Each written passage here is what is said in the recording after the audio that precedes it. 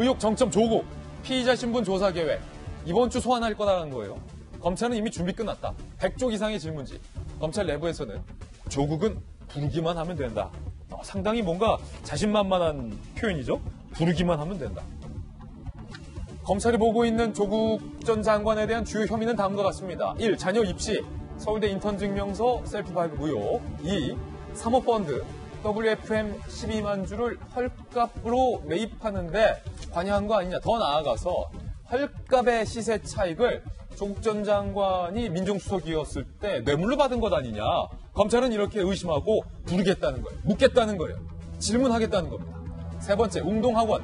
채무 면제를 위한 허위 소송 큰 그림을 유일한 가족 중에 법조인이었던 조국 전 장관이 이 큰 그림을 설계하고 사실상 그린 것 아니냐 라고 기사에 따르면 검찰이 의심하고 있다. 네 번째, 증거인멸. 설렁탕 먹었죠? 그 한투 직원과 조국 전 장관 방배동 자택에서 하- 같은 상에 앉아서 설렁탕 먹었다는 거잖아요. 어느 날에 PC 하드디스크 교체해주는 날에.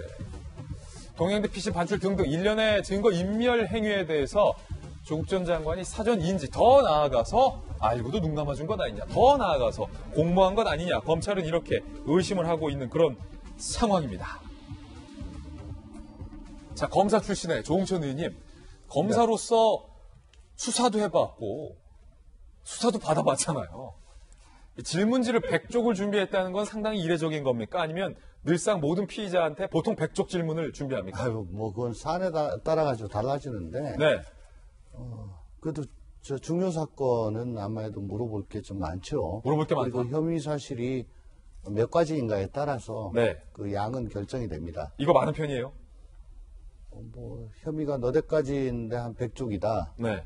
뭐 조금 많아 보이긴 하는데 뭐 많아 보인다. 조금 많아 보인다. 조금 많아 보인다. 100쪽이면 50장이잖아요.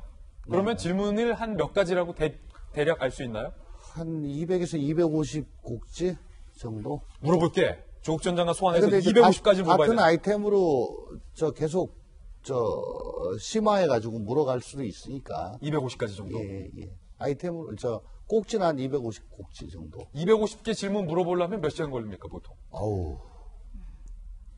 10시간 정도는 해야죠. 10시간. 거의 밤샘. 10시간 정도는 해야죠. 10시간 정도는 짧게 잡아도. 그렇습니다. 식사 시간 빼고요? 아침- 예, 예. 그럼 식사 시간까지 합치면 식사 시간 두 번 먹으니까 2시간. 어.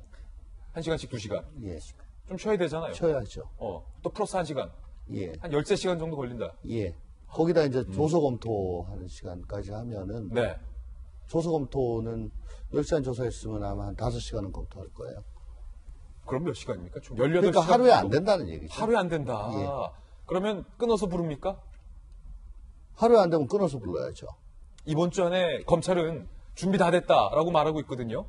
이 말은 검찰이 자신 있게 준비했다는 의미입니까? 어, 지금 저 아까 저 화면에 나온 거 보면 검찰 내부에서는 조국을 부르기만 하면 된다. 네. 라고 전부 출처가 뭔지 또 그게 확실한 건지 모르겠습니다만은 만약에 저게 사실이라면 준비는 다 됐다는 얘기고요. 예. 아, 이미 그 정경진 교수를 뭐 몇 번 부르 저 소환에 불응하긴 했습니다만은 네네. 정경심 교수만 조사하는 게 아니고 WFM이라든가 그 상대방 저 그 상대 측도 같이 조사를 하거든요. 예. 그러니까 어, 만약에 정 교수가 수사에 비협조적이었다라고 하더라도 WFM 쪽에서 또 충분히 예. 어, 물어보고 또 답을 저 답을 받을 수가 있으니까 예. 많이 준비했다 그렇게 보여집니다. 종천 의원님께서 보시기에는 검찰은 지금 많이 준비했다. 그리고 250개 질문하려면 뭐 조서 검토 식사 시간까지 포함해서 18시간은 좋게 걸릴 거다라고 예측을 하셨는데 지금 오늘 정경심 뭐 구속 만료가 다가왔는데 지금까지 검찰이 조국 전 장관은 안 불렀잖아요. 그거는 어떻게 보세요? 뭐 세간에서는 검찰이 그냥 정경심 선에서 끝내는 건 아니냐라는 의심도 있고 두 번째는 아니 법원이 뭐 휴대전화 영장도 안 내주니까 검찰이 조사하는데 준비하는데 시간이 걸렸다라는 설도 있고 검찰 출신께서 보시기에 지난주 돌직구쇼에 출연해가지고 제가 네. 아, 검찰은 이미 호랑이 등에 올라탔다. 그래서 여기서 어설프게 중간에 잘못 내리면 호랑이한테 물려준다는 말씀을 드렸습니다. 예 그리고 어, 또 검, 사들도 인사로 또 모든 걸 먹고 사는 조직인데요. 검찰 인사철 다가왔죠.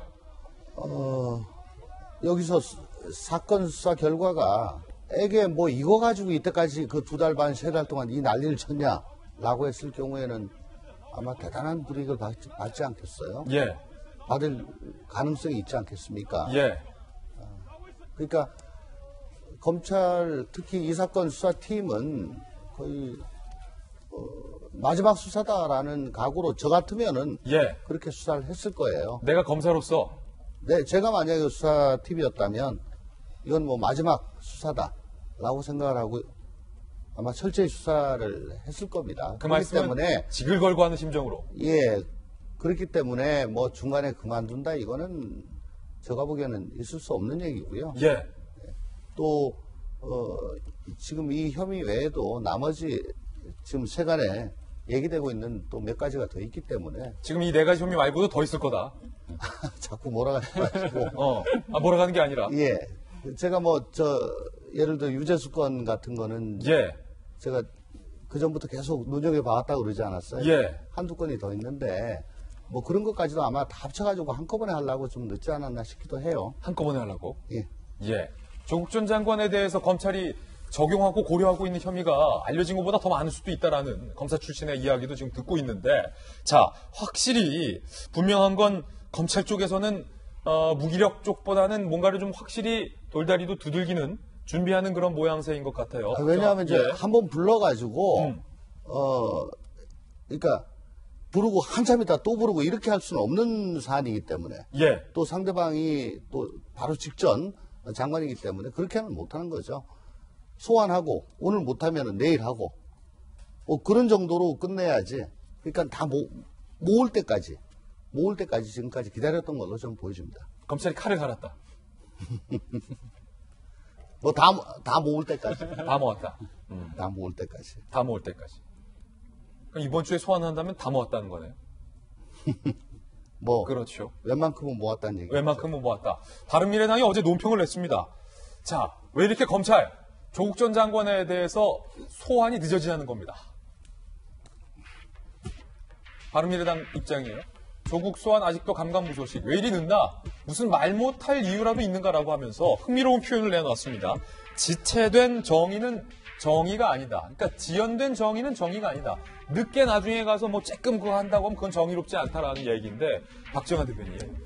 자, 바른미래당이 그 세간의 어떤 검찰 수사에 대한 어떤 불만 의구심을 어, 반영을 해서 지체된 정의는 정의가 아니다라고 한마디 어제 한 거예요. 그렇게 표현한 것 같아요. 그러니까 조홍천 의원님 지금 말씀은 전 검찰이 부르게 되면 조국 전 장관을 부르게 되면은 완전 완벽한 혐의에 대해서 입증을 해야 되기 때문에 이런 자료 저런 자료 다 모으고 심지어는 지금 정경심 교수와 연루돼서 조국 일가의 문제 말고 민정수석으로 일하던 당시에 혐의까지도 확인하느라고 좀 늦는 거다라고 좀 말씀하셨는데 그런 추측이 뭐 상당 부분 맞을 것 같아요. 그런데 일각에서는 분명히 지금 강신업 대변인이 얘기한 것처럼 애초에 검찰이 자신 있게 얘기했던 그때의 자세와 지금의 반응들이 조금 다르다라는 의심을 한 게 있거든요. 분명히. 그러니까 일단 윤석열 총장은 검찰에 대한 그 국회의 국정감사에 분명히 보완이 잘 돼서 그런 건지 우리는 충분히 다 조사를 했다. 근데 아직 그게 새 나가고 이런 게 없기 때문에 우리는 수사에 대해서 자신한다라고 얘기를 했어요. 근데 그 이후에 여러 보도를 보면 사실은 그 뭐 어떤 연유인지는 잘 모르겠습니다만 검찰이 요구하는 통화 내역 조회나 아니면 계좌 추적이나 이런 것들이 다 영장이 기각됐다는 거 아니에요? 그러면 핵심적으로 확인할 수 있는 증거에 대해서 검찰이 접근하지 못했을 수도 있다. 그래서 최근에 조국 전 장관 일가에 관한 수사, 그다음에 당사자에 대한 수사에 대한 얘기들이 자신 있게 검찰에서 뭔가 발표가 되거나 아니면 그 구속 만기 시일이 다가와서 예. 이제 재판에 넘겨야 되는 정경직 교수를 상황이 왔는데도 조국 교수를 불러서 조사를 하지 못했었던 거 아닌가 이런 의혹을 사고 있습니다. 이래서 바른미래당이 지체된 정의는 정의가 아니, 아니다라는 얘기를 하면서 검찰 수사를 빨리 하고 아니면 혹여 뒤에서 검찰이 혹여나 일부분이라도 봐주려 하는 거 아니냐 이런 의심을 하는 논평을 어제 냈지요.